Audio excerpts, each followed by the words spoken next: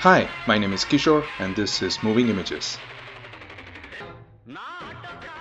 Following the theatrical re-release of the 1995 hit movie Baasha, I watched the movie again to try and understand what makes this film a timeless entertainer.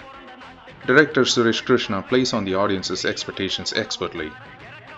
One would expect the hero Manikam, played by Rajinikanth, to be the swashbuckling hero who would send goons flying left and right from the get-go. But instead, we get a protagonist who shies away from violence for the first half of the movie. ஏன் திருப்பிட்டீங்க சண்டையில பயமா ஆமாங்க சண்டைங்க ரொம்ப பயங்க அது சரியில்லைங்க ரொம்ப தப்புங்க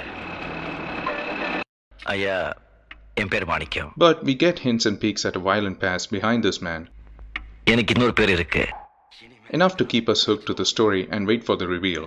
And we do get to a point in the story where we might finally see him be the hero, but instead he gets beaten up, furthering our frustration. This was an excellent strategy by both Suresh Krishna and Rajinikanth as when we finally get to see Manikam make a comeback, it is even more satisfying. And the reveal is the most accelerating scene in the movie and one of my all-time favorite.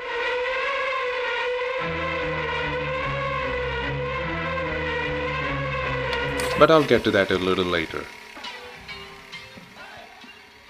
The storyline of Baasha has almost become formulaic that many Tamil films that came after it till this day follow it. But the screenplay of Baasha follows a structure that is quite older than you think. Meet the 8 point story arc structure. The 8 point structure splits a story arc to 8 different parts.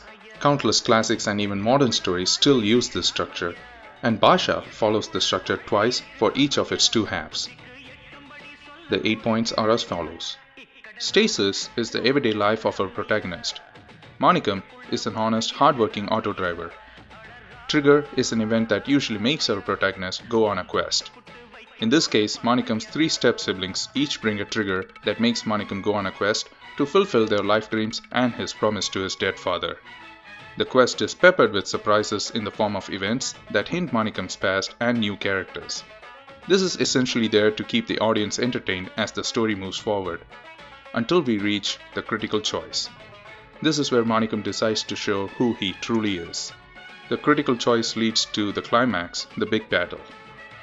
The reversal is the consequence of the critical choice and the climax. Manikam beats the goon the same way he was beaten. And finally, we have resolution, where our protagonist reaches a fresh stasis. Now Manikam's violent tendencies have been found out by his step siblings. This leads us to the second half of the movie, where the structure starts from the new stasis and follows the 8 points again. I promised I would talk about my favorite scene from the movie, and here it is. The setup to this one scene is a brilliant piece of filmmaking. We just witnessed our hero Manikam being dealt some serious beating at the hands of Anandraj. Manikam's brother puts Anandraj behind bars, but he is back the same night with Vendetta. The scene starts with an aerial shot of the place Manikam and his family dwells. Notice the sound of a train running in the background? This will come back later as a key aspect. It is a normal day for Manikam's family until Anandraj arrives and he has Manikam's sister. All hope is lost for the family until our hero makes a classic last minute entry.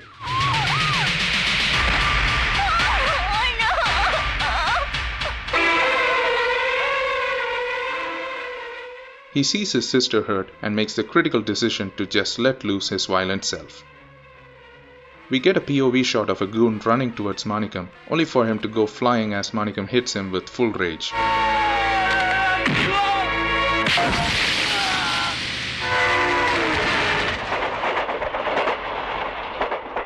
What we get next is the background sound of the train again as Manikam's sister slowly backs away, followed by a solo slow mo shot of Manikam turning to Baasha.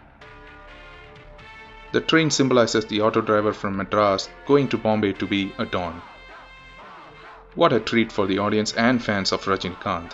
The long awaited comeback is finally here and it is truly satisfying. Baasha will remain a classic example of timeless masala entertainer and though many films have tried to emulate what Baasha did, it is a film I will revisit countless times because it is the original and it is the best. Until next time, this is Kishore signing off saying.